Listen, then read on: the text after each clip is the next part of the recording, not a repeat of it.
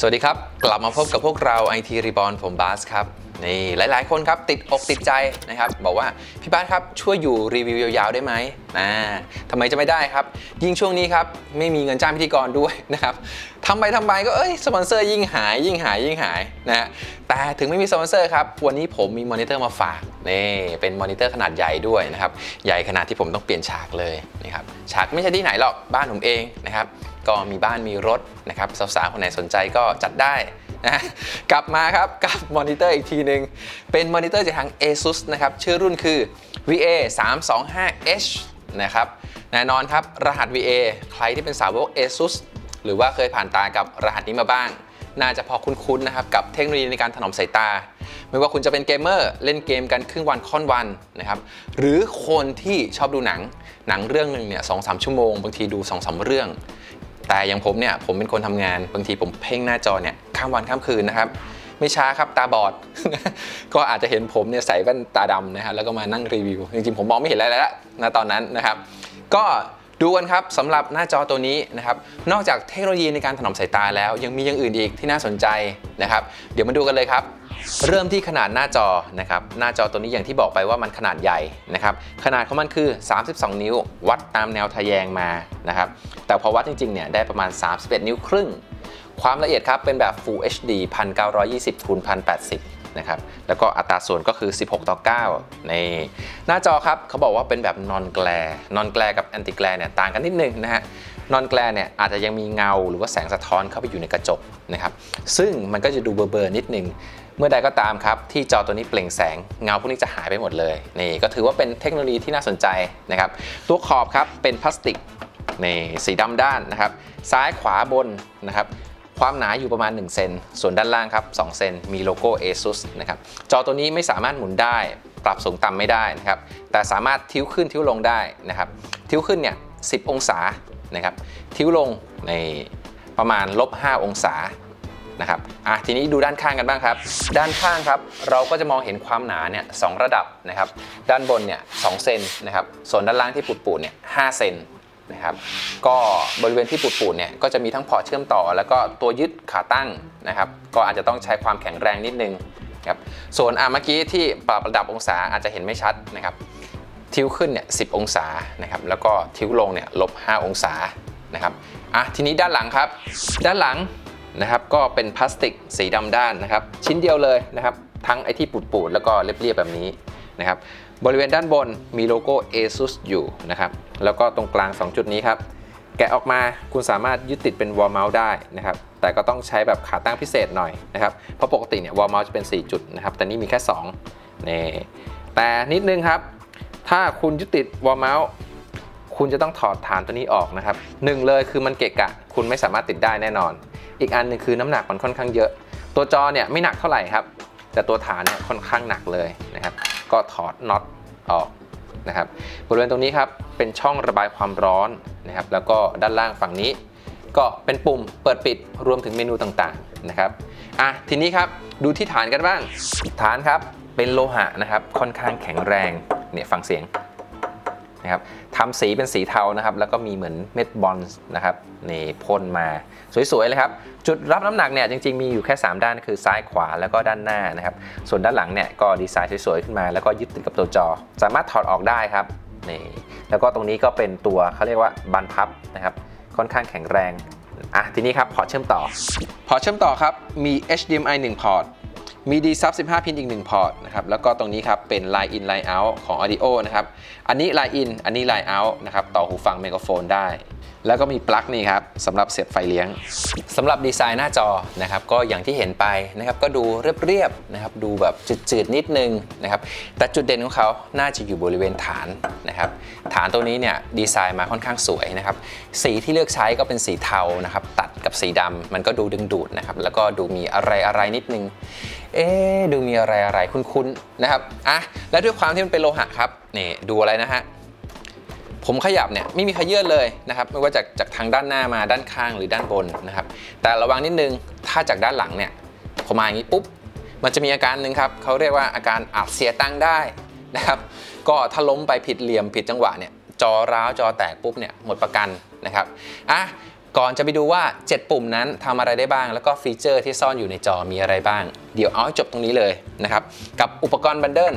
อย่างแรกครับ นี่เป็นสาย HDMI นะครับ มีมาให้ 1 เส้น สาย D sub 15 พิน มีมาให้ 1 เส้นนะครับ แล้วก็ปลั๊กไฟเลี้ยงนะครับ ก็จะแยกตัวเขาเรียกว่าสายกลาวออกมาด้วยนะครับ มีมาให้ 1 เส้นโอ้อันนี้มีมาให้ด้วยนะครับ แล้วก็อันนี้ครับเป็นสาย audio jack นะครับ มีโอ้โอ้โอ้โอ้มีมาให้1เส้นนะครับ แล้วก็คู่มือคู่มือเล่มนี้ครับ เป็น VP Member นะครับ ก็จะบอกว่าจอตัวนี้รับประกัน 36 เดือนนะครับ แล้วก็รับประกัน Dead Pixel ด้วยนะครับ จุดสว่าง 3 จุด จุดมืด 5 จุดสามารถเคลมได้นะครับ สุดท้ายถ้ากลัวว่าติดตั้งไม่ได้ เราก็มี Quick Installation Guide มาให้ด้วยนะครับ1แผ่นอะทีนี้ครับ มาดูกันว่าการใช้งานของจอตัวนี้ทำยังไงนะครับ มา ทีนี้ครับ ปุ่มในการใช้งานนะครับมีมาให้ทั้งหมดเนี่ยเจ็ดปุ่มอย่างที่บอกไปตอนแรกนะครับแล้วก็ปุ่มเนี่ยถูกซ่อนอยู่ทางด้านหลัง เวลาคุณใช้งานจริงเนี่ยคุณจะนั่งอยู่หน้าจอใช่ไหมครับแล้วก็เอื้อมมือขวามาคลึงมันไปนะครับโดยที่คุณไม่รู้เลยนะครับว่า 7 ปุ่มเนี่ยอยู่ตำแหน่งไหนบ้างนะครับมันก็จะเป็นการลำบากไปนิดนึง ASUS นะครับเขาก็เลยทำนี่ให้นะครับเป็นจุดไข่ปลามีไหมาให้ทั้งหมดเนี่ยหจุด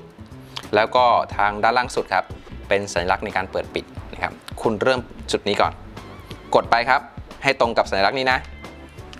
มันจะเป็นปุ่ม power ครับ ไฟติดโลโก้ขึ้น หน้าจอพร้อมทำงานแล้วครับ นี่ เดี๋ยวผมจะเพลย์วิดีโอไปเรื่อยๆนะครับ ระหว่างพูด คุณก็ดูภาพไปด้วยแล้วกันนะครับทีนี้ครับ พอหลังจากหน้าจอติดเนี่ย คุณกดปุ่มไหนก็ได้ เมนูมันจะขึ้นมาแบบนี้นะครับ เมนูเนี่ยขึ้นมา 2 แถบก็คือแถบใหญ่กับแถบเล็ก สังเกตสัญลักษณ์จะเหมือนกัน นะครับต่างกันตรงที่แถบใหญ่เนี่ยจะมีคำจำกัดความว่าสัญลักษณ์นี่คืออะไรนะครับ แต่ตรงนี้มีไว้ทำไมอีกล่ะ มันก็มีไว้เพื่อที่จะบอกว่าทางด้านหลังสัญลักษณ์เนี่ยมันจะมีปุ่มใช่ไหมครับมีทั้งหมดเนี่ยหสัญลักษณ์ก็คือ 1 2 3 4 5 6 ก็คือ 6 ปุ่มทางด้านหลังนะครับไม่รวมปุ่ม power นะ เดี๋ยวผมขอเริ่มทีละปุ่มก่อน ขอเริ่มจากด้านล่างขึ้นมาก่อนอะกดเข้ามาครับก็จะเป็นเมนู Blue Light Filter นะครับ แถบเมนูฝั่งนี้เปลี่ยนนะครับ มันจะเป็น arrow control คุณสามารถกดเลื่อนขึ้น เลื่อนลงได้นะครับ enter ได้แล้วก็ปิดได้อะทีนี้ครับเขามีมาให้เนี่ย Blue Light Filter เนี่ยมีมาให้ 5 ระดับนะครับ ก็มีตั้งแต่ 0 ถึง 4 นะครับ0เนี่ยได้รับเขาเรียกว่าการรับรองนะครับจาก Turf Leyland มาว่าเฮ้ยมันช่วยถนอมสายตาคุณนะ แต่ทั้งนี้ทั้งนั้นเขาก็เพิ่มมาให้อีกครับ ก็ถนอมกันขึ้นไปอีกนี่ ไม่รู้จะถนอมอะไรกันขนาดนั้นนะครับอะปิดไปอะเดี๋ยวเดี๋ยวก่อนเดี๋ยวก่อนเดี๋ยวจะเกิดปัญหาเวลาผมทดลองตัวอื่น สีมันดรอปไปหน่อยนึงครับ เวลาปรับเป็น Blue Light Filter เนี่ยอะออกไป กลับเข้ามาใหม่ครับกับเมนูถัดขึ้นมาครับ ก็จะเป็น brightness นะครับ brightness เนี่ยก็คือจะเป็นตัวความสว่างนะครับคุณเลือกเป็นแมนนวลได้เลยนะครับสว่างสุดเท่านี้นะครับแล้วก็มืดสุด ลองดูไล่เฉดลงไปนะครับ นี่เท่านี้ครับ คุณก็ปรับให้เหมาะสมกับการใช้งาน แล้วก็ปรับให้เหมาะสมกับสภาพห้องนะครับสายตาคุณก็จะได้ไม่ถูกรบกวนมากนะครับ ทีนี้ครับออกไป กลับเข้ามาใหม่ ตัวนี้ครับปุ่ม Game Plus ผมจะช้านิดนึงนะ เพราะว่าผมต้องก้มมาดูทางด้านหน้า แล้วก็ต้องอ้อมไปดูปุ่มด้านหลัง เพราะว่านั่งอยู่ตรงกลางพอดีนะก็ไม่เห็นทั้งสองฝั่งนั่นแหละอะทีนี้ครับพอเข้ามาที่เมนูนี้แถบด้านข้างครับ arrow control เนี่ยจะเปลี่ยนจากบนล่างมาเป็นซ้ายขวานะครับก็ขยับได้เลย มีเมนูแรกก็คือตัว cross hair นะครับ ตัวนี้ก็คือเป็นปุ่มสัญลักษณ์เป้าเล็ง พอเข้ามาปุ๊บคุณเลือกได้เลย เวลาคุณเล่นเกมยิงเนี่ย มันก็จะเป็นปุ่มช่วย นะครับเป็นสัญลักษณ์ในการช่วยเล็งอะกลับออกไป อีกอันนึงครับ timer เวลาคุณแข่งขันกับเพื่อนเนี่ยเวลาเล่นเกมเกมบางเกมเนี่ยมันไม่ได้มีเวลากำหนดนะครับคุณก็ใช้ตัวนี้แหละเป็นตัวตัดสิน แต่ผมนึกถึงสมัยก่อนนะร้านเกมเขาจะใช้จอทีวีใช่ไหมครับที่ตั้งเวลาปิดได้ พอครบ 30 นาทีปุ๊บจอดับเลย เฮ้ย เกือบชนะแล้วอะอะยอมจ่ายเงินนะครับ ยอมจ่ายเงินเพื่อ ที่จะกลับไปเล่นต่อกลับมาอีกทีแพ้ โอ้ปวดใจนะอะนอกจากปรับเรื่องของเวลาได้แล้วครับ คุณก็สามารถเลือกตำแหน่งมันได้ด้วย จะให้มันอยู่ข้างบน ตรงกลางหรือข้างล่างนะครับอะออกไปครับ ไปอย่างเร็วๆเลย อันนี้ครับ input นะครับ select คุณสามารถเลือกได้ว่าคุณจะเลือก input จากตัวไหนนะครับพอร์ต input เนี่ยมันมีมาให้ 2 อันใช่ไหมครับ ของตัวจอก็จะมี D sub 15พินแล้วก็ HDMI ถ้าคุณเสียบไป2สายแล้วก็แต่ละสายเนี่ยมาจากคนละแหล่งนะครับ ก็เลือกได้เลยครับว่าจะให้มันขึ้นจอด้วยแหล่งไหนสายไหน อย่างตัวนี้ครับผมเสียบแค่เส้นเดียวก็คือ HDMI มันก็จะโชว์แบบนี้นะครับ HDMI เนี่ยมันข้อดีอย่างหนึ่งก็คือมันมาทั้งภาพและเสียง ถ้าคุณต่อเป็น VGA คุณก็อาจจะต้องต่อสายที่เป็น 3.5 มิลนะฮะ สายออดิโออะ เสียบเป็น Input เข้ามาด้วยนะครับ อะ ออกไปแล้ว ทีนี้ครับ เหนือขึ้นมา ปุ่ม close นะครับ ปุ่มนี้ไม่มีอะไรครับ ถ้ามือคุณเผลอไปโดน ปุ่มเมนูมันขึ้นมา จะทำยังไงล่ะ คุณรอก็ได้นะครับ คุณรอปุ๊บเดี๋ยวมันจะดับเอง แต่ถ้าสมมติไม่อยากรอก็ปุ่มที่ 2 จากทางด้านบนกดไปปิดเลยอะสุดท้ายครับ ปุ่มนี้ค่อนข้างมีความสำคัญก็คือปุ่มเมนูนะครับที่เอาไว้สุดท้ายเพราะว่าพอเรากดซ้ำเข้ามาอีกทีหนึ่งหน้าเมนูจะเพิ่มมาเป็นแบบนี้ครับ นี่มีอะไรบ้างเยอะแยะเลย อันแรกสุดนะครับก็คือ spended นี่สำเนียงผมเนี่ยผมบอกเลยว่าคุณเมย์ยังต้องเรียกพี่นะครับไม่ได้สำเนียงดีนะอายุเยอะกว่า ทีนี้ครับมันคือค่า preset นั่นแหละนะครับคุณสามารถเลือกได้เดี๋ยวผมเลือกแล้วคุณก็ดูไปด้วยนะ นี่สว่างขึ้นชัดขึ้น นี่ค่ามาตรฐาน Theater Mode Theater Mode เอาไว้คุณดูหนังแล้วกัน เวลาคุณดูหนังเนี่ยมันจะช่วยถนอมสายตาระยะยาว นะครับคุณดูไป 2 เรื่องสาเรื่องเนี่ยคุณจะรู้สึกสบายตา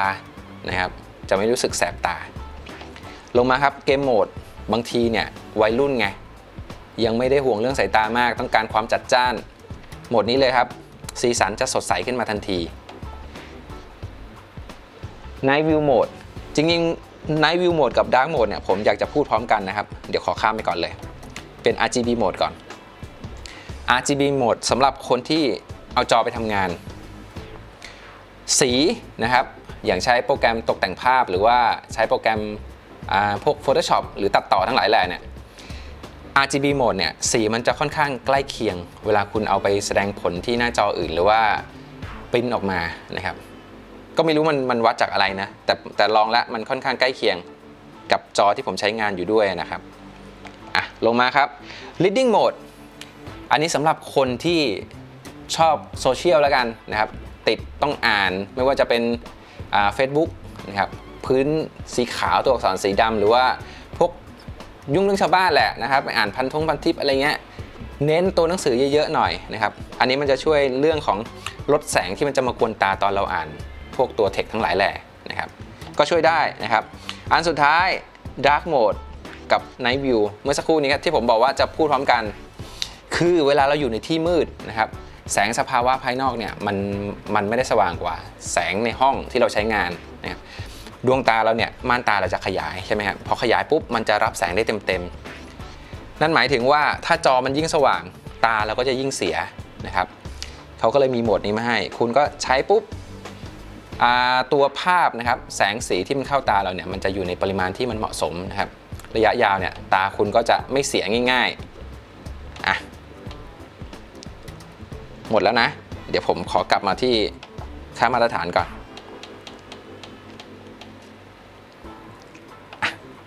เรียบร้อย ทีนี้ครับลงมา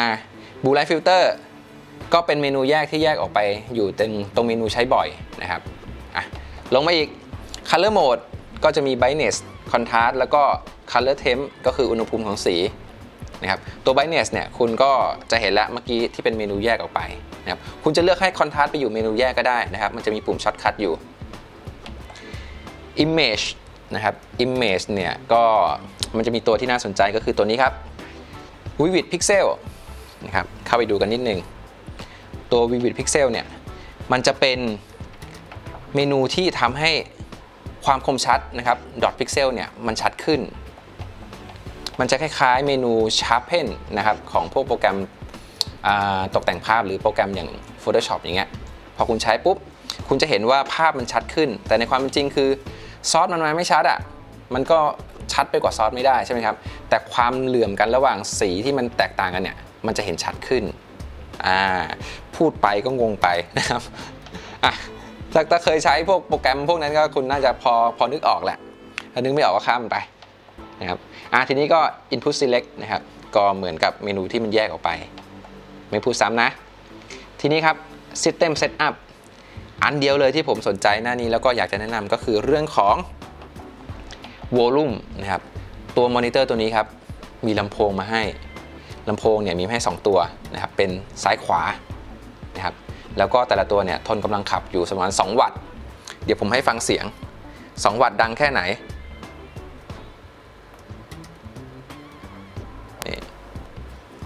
ฟังนะครับ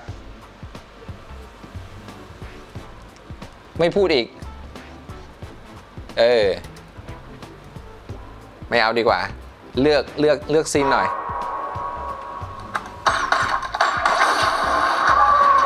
ว้า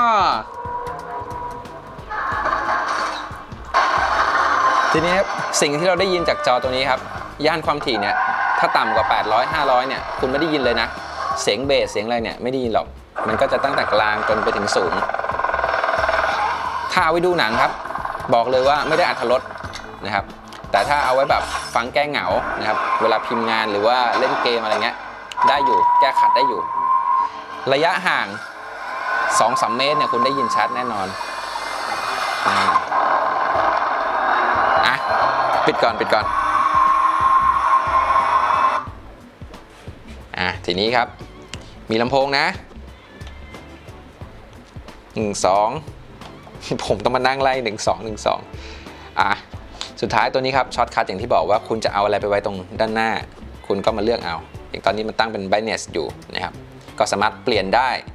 อะเมนูการใช้งานแล้วก็ปุ่มการใช้งานก็มีประมาณนี้นะครับทุกครั้งเนี่ยเวลาผมรีวิวจอเนี่ยผมจะปิดไฟห้องมันมืดนะครับแล้วก็เอากล้องเนี่ยจับมาที่หน้าจอตรงๆนะครับแล้วก็มีการเซตสีกล้องให้มันตรงกับ สีของหน้าจอมากที่สุดนะครับเพื่อหนึ่งเลยคือดูความชัดนะครับ สีสันแล้วก็ความสว่างของมัน แต่ครั้งนี้ครับแตกต่างไปนิดนึงนะครับ จะทำการทดสอบที่มันโหดขึ้น ตัวจอผมจะทดสอบในสภาพห้องที่มันสว่างนะครับ เพราะฉะนั้นสิ่งที่คุณเห็นนะตอนนี้ไม่ว่าจะเป็นเรื่องของความคมชัดสีสันนะครับ มันจะเป็นแบบนี้เลย แน่นอนครับเวลาคุณใช้งานจอเนี่ยคุณไม่ใช่แบบเอาจอไปแอบอยู่ในที่มืดแล้วนั่งเล่นนะครับบางทีอยู่ในห้องรับแขก มีแสงมีเงาสะท้อนเข้ามา ห้องนั่งเล่น ห้องครัวนะครับมันก็จะประมาณนี้นะครับแต่สีที่ได้เนี่ยผมบอกเลยว่ามันมีความชัดเจนนะครับสีสันสดใสแล้วก็คอนทราสต์นี่ตัวนี้ครับคอนทราสต์เรโชอยู่ที่ 100 ล้านต่อหนึ่งด้วยนะครับค่อนข้างสูงนะครับถ้าคุณรู้สึกว่าจอมันมืดไป คุณสามารถปรับขึ้นได้ หรือถ้ารู้สึกว่าจอมันสว่างไปปรับลดลงได้ เพราะอย่างที่บอกไปนี่คือค่ามาตรฐานจากทางโรงงานที่เอซุตั้งมาให้ นี่คือค่ามาตรฐานนะ ก็ยังสว่างขนาดนี้สีสันยังขนาดนี้นะครับก็ลองดูครับสำหรับใครที่จะเอาจอตัวนี้ไปไม่ว่าจะดูหนังเล่นเกมหรือเอาไปทำงานนะครับค่อนข้างถือว่าเป็นจอที่อเนกประสงค์พอสมควรนะครับราคาของมันนี่หลาย ๆ คนอยากรู้แล้วนะครับ 9,900 บาทนะครับนี่เป็นราคาจาก ASUS บอกผมมานะ บางร้านอาจจะอยู่ที่ 1,500นะครับก็บอกไปว่า ASUS บอกมา 9,900 เองนะครับก็ต่อรองหน่อยนะสุดท้ายครับก็ต้องขอขอบคุณ ASUS นะครับที่ส่งจอตัวนี้มาให้เราลองเล่นดูนะครับก็อาจจะไม่ได้ทดสอบอะไรแบบเล่นกงเล่นเกมอะไรเยอะนะครับ ก็อาจจะให้ดูสีสันเป็นหลักนะครับอะแล้วก็สปอนเซอร์ด้วยนะครับก็ต้องขอขอบคุณสปอนเซอร์ทุกท่านไม่ว่าจะเป็น Gigabyte ASUS แล้วก็ Deva Natural นะครับ ที่สนับสนุนรายการของเรานะครับคอมเมนต์เหมือนเดิมครับโอ้โหครั้งที่แล้วเนี่ยคอมเมนต์เยอะมากนะครับก็ขอขอบคุณทุกคอมเมนต์นะครับแล้วผมก็ตอบทุกคอมเมนต์อย่างที่สัญญาไว้นะครับอะเดี๋ยวครั้งหน้าครับ ผมจะมีอะไรมารีวิว อย่าลืมติดตามนะครับแล้วก็ให้กำลังใจทีมงานได้ที่หน้าแฟนเพจนะครับ Facebook IT ขีด Reborn สำหรับวันนี้ครับ ผมและทีมงานทุกคนต้องขอตัวลาไปก่อน แล้วพบกันครั้งหน้าครับ สวัสดีครับ